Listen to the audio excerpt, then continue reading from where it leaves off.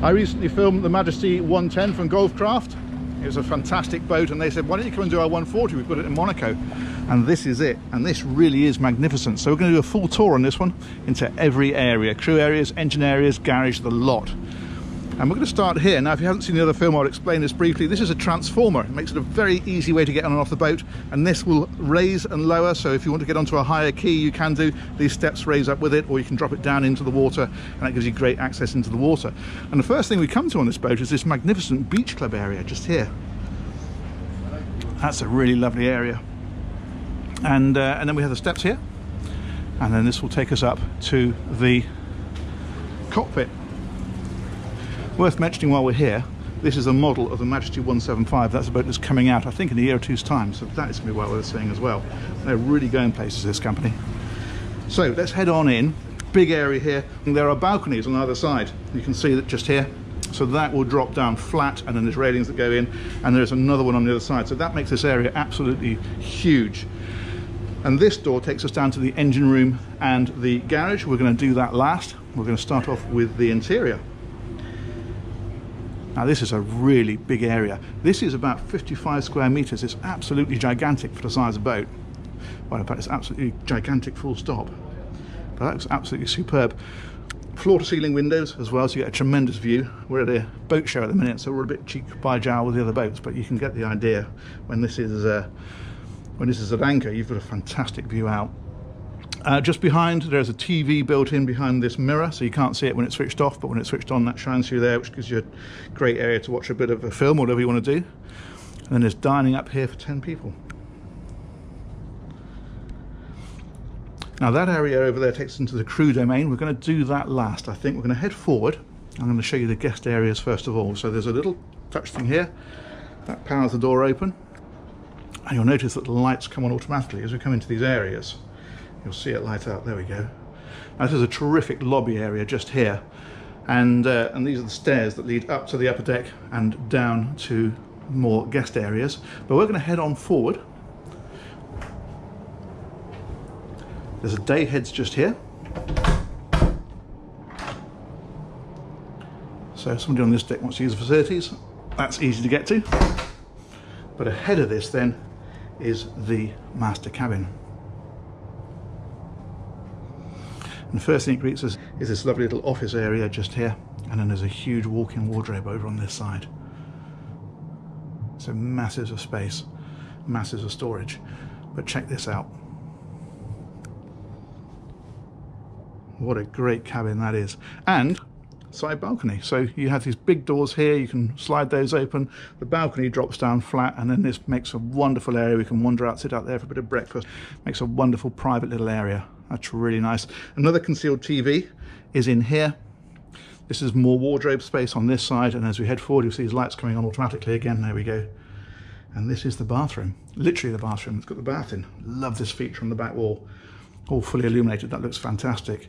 The toilet itself is tucked in there along with the bidet. And then there's a big shower area on this side.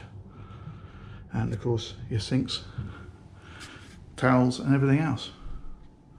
This is a massive area though, really good. And you can close this off from this cabin of course if you want to, or you can leave it open as it is at the moment. Okay, let's go back out through here. Get a better look at that side balcony just here. So you've got this area all the time, but then you can extend it by dropping that balcony out as well. Excellent. Okay, let's head on back. Lots to cover on this boat. It's a huge boat. And as we come back out here, one thing worth mentioning is there's actually a secret door. I think it's, yeah, it's here. So that is into the crew area, which allows the crew to access this area then directly, and they will also get out through the side door. They can go into the main saloon or up or down from here without going directly through the guest areas. We're going to go down first of all. And this takes us down to the guest cabins. Again, all lighting up nicely as we approach. So there are two cabins here. These are singles, as you can see. And as you'd expect, these are fully ensuite. And again, this should light up. There we go. Big rainfall shower and beautifully appointed as you'd expect. Another of those hidden TVs. And as we come back around here, this is pretty much identical. So, twin cabin. I love these little storage areas like this they've put in. And again, ensuite. And if we head this way, this is where the double cabins are located. There are bigger cabins. And again, huge wardrobes just here. And very, very nice en suites. Lovely. I mean, we are into a, a big yacht, so you'd expect it, but these are the sort of areas that you don't even get as master cabins in what you might call normal boats. There's a dressing area here. And we will do the last one just for completion. So another double cabin just there. Wardrobes and the ensuite.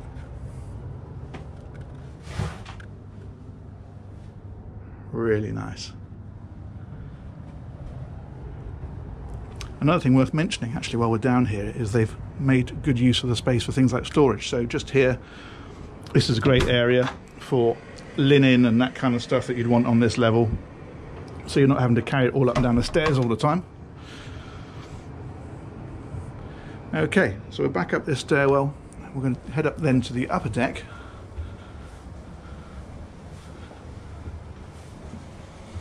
And we'll take a look at that. So we come right round here, head on round again. And this will bring us out on the upper deck. So I think what we'll do here is we will head forward first of all and we'll take a look at the bridge. So this is the bridge area. One thing worth mentioning as we go past. This is the server space. Look at this. So all the networking, internet servers, hi-fi, all that kind of thing. That's all in there where it can be got at. It gives you some idea of the level of complexity that goes into the background of these boats. And a stunning bridge. This is really nice. I love the way they finished it off with details like this, sort of like a world map on the ceiling. It's very classy. And then of course all your controls, handheld VHF radios, the main radios for the boat, the throttles, the steering, all the screens, all proper kit. And in fact also on this deck is the captain's cabin. So if we head back here, he gets this area. So he's on call when the boat's underway on long passages. And he has a very nice cabin, very well catered for.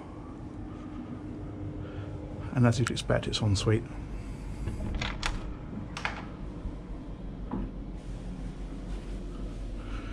With a really nice shower.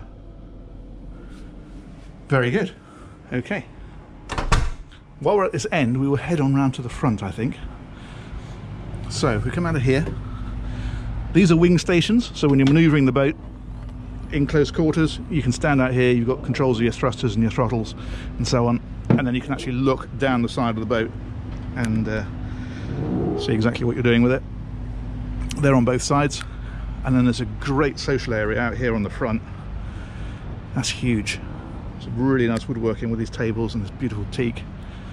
And at the front of the boat are a couple of jet skis and they are lifted on and off by this large crane so that just lifts them out off and down what's quite handy with this in fact of course is you can launch these even if you are in quite tight confines as we are at the minute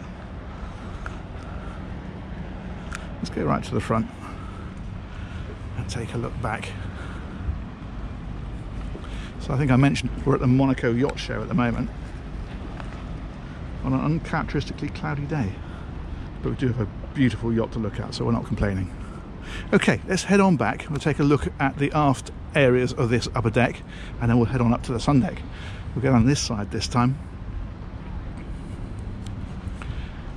Now you, you can walk from here down the sides and down to the back of the boat without going inside if you want to. That's what that area there takes you down to. But we're not going to do that. We're going to back up, head back through this door into the wheelhouse and take a look further aft in this area. Now there are a couple of things to point out as we go through here. On this side there is another day heads. So if you're on this level, you don't need to be going up and downstairs looking for the facilities. They're right there. And on the other side is access to the bar for the crew. So they can then come into here, got fridges at the back, sink, and this allows them to serve this upper deck straight through here. This lovely bar area. Excellent. Okay. And then this is the upper saloon. So it's a little bit more informal than the lower saloon. Lovely area to gather of an evening, have a drink at this bar the big TV is hidden in behind there. And this then takes us out through these sliding doors to the upper aft deck. Great little socialising area again under the shade of this. And another bar outside. Masses of space everywhere on this boat. Really good. And as you'll notice, there is another stairway over here. That takes us up to the sun deck. Let's go and check that out.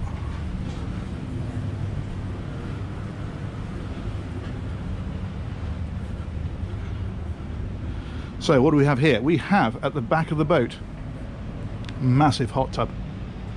Really good size. And you notice there's a crane up here, and the reason for the crane is so that you can lift onto here more jet skis if you want them. You could put a big five meter tender up here. If you wanted another tender, there is a tender in a garage also. But it allows this area to be very versatile. You can use it however you want. You can leave it just as sun lounging areas as we've got at the minute. Put toys up here, put a tender up here. Your choice. Let's head on forward. Another thing worth mentioning is this little fella here. This is a nice little waterfall, just gently cascades water down into here. Very nice little feature. Okay, dining area up here. Now there are opening sections. You can see this one's open. If we head on forward, you'll see the other one is closed, just to give you the idea. So depending on whether you've got bright sunshine or you want a bit of shade, you can adapt these areas to suit. And then a terrific area here. This is really nice. And then from here, of course, we can look down over the front of the boat. You do get an impression of the size up here. It's a big boat. What else have we got? Well, on this side, there is storage. So things like canopies, that kind of thing can be put in here.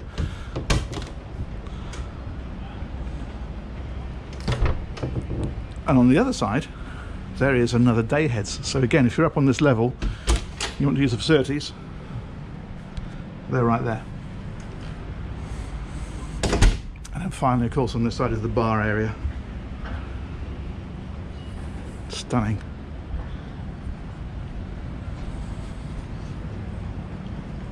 Very, very nice. Okay, let's head on back down. We're going to go and check out the crew areas, the galley, and we're going to finish off with the tender garage and the engine space, all of which is pretty spectacular. So I think what we're going to do this time is going to head down this one rather than go back through the cabin this will take us back down to the main deck aft cockpit and then we can go in and forward from here. Okay, so we're back into the main saloon. Pause and take another look because it is just so dramatic. This incidentally won an award the last couple of days at one of the Super Yacht Awards for its interior design. And I can see why, because it is stunning to look at. Really lovely. Okay, let's go back through here. So if we head over onto this side, this is then going to take us into the crew areas. So I'll just give a little wave here. That powers that door open. Takes us into the pantry. And there's a side access door here, so again, the crew, when they come out of here, can go straight out and down the side of the boat and out without having to go through the guest areas. But if we head in through here, we'll find the galley. Look at that. That is a spectacular area. Very nicely done. It is, of course, all Miele equipment right the way through. You can see it over here as well. And this is all refrigeration. So you have fridges on this side, and that's a big freezer just there. And a mess area for the crew to gather. But if we head on down, this then takes us down to the crew cabins.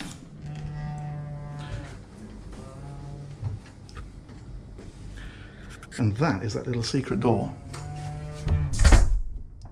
that takes you back out to service these areas if you want to. So you can go into the master cabin or out and down to that lobby to go up or down the stairs. So that's quite cunning. Okay, let's drop on back and head on down. So down here we have three cabins. And the crew are actually using this boat at the minute, so I'm just going to show you the one. They've all got twin berths, as you can see here. They've all got masses of storage, there's a little desk in here as well. And of course these are ensuite. So there's a decent sized shower in here and toilet and so on. As I say, there are three of these. There's one directly opposite and then there's one up at the head of the boat.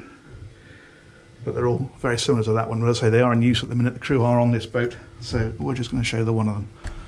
Okay, let's head on back because we're going to go and take in the engineering spaces, which are pretty spectacular. I think what we're going to do now is pop out through that secret door. There we go, I can show you how this works. So if we go back out through here, now we have access straight out to the side decks, we have access up to the upper deck, down to service the guest rooms, all without going into the guest areas. Or we can go straight back, give this a little wave, and we're back into this main saloon area. So a lot of options. Okay, we're going to head on back through here.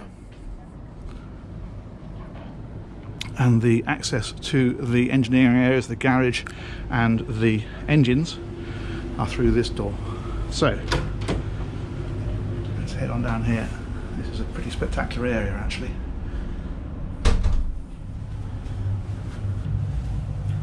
Okay, so this is both the garage and the laundry. So you have all the laundry facilities across the back and then the tender lives here. And it has a side opening door. And so the idea is you pick the tender up with this crane that's mounted in the ceiling and that will lift it out through that side access drop it down into the water. But it means that this can be kept in here and protected well it can be serviced looked after and there's masses of room to move around it. That's a really good garage and masses of headroom as well. And you can see also the mechanism here for the doorway there's some really serious heavy duty engineering going on in this yacht. And the engines, as you probably guessed, are behind me here. Now these are a pair of MTU 2600 horsepower engines. They're V16, they are massive engines. And they're giving this yacht a top speed of around 20 knots, cruising at 16 knots. But if you drop the speed right back to 10 knots, you've got transatlantic range she'll do about 4,000 miles. Twin generators back here. And that's another way out the boat. That takes you back out into that beach club area that we saw as we came on board. A lot more serious engineering as you can see, a lot of plumbing, electrical equipment.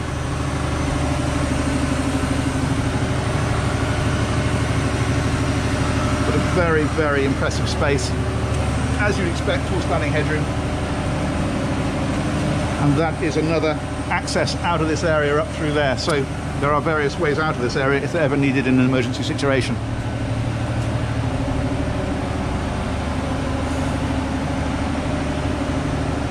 What an incredible space that is. Awesome. Okay. Let's come out of here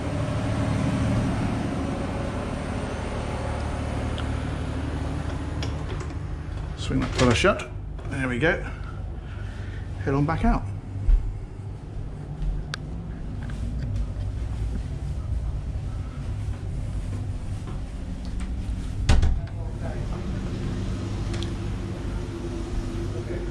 Finish off in here, I think. So that is it. That is the Majesty 140 by Gulfcraft. It's absolutely incredible super yacht. Very pleased to be able to show you that one. I Hope you've enjoyed that tour. If you have to, give the thumbs up a quick click. That helps the analytics. And if you haven't subscribed, I hope you consider doing so because we've got some great super yachts coming. And I look forward to showing them to you soon. Thanks very much for watching. Take care. Bye-bye.